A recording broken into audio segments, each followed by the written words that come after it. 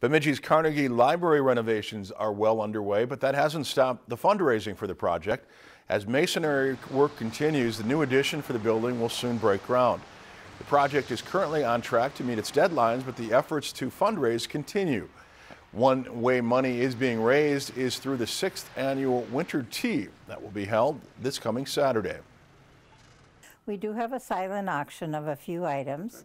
Um, we um, have tea and light snacks.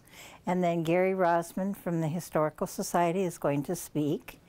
And it's, it's, it's just very festive and very nice. Nice way to kick off the Christmas season.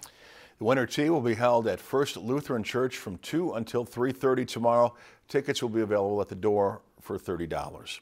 If you enjoyed this segment of Lakeland News, please consider making a tax-deductible contribution to Lakeland PBS.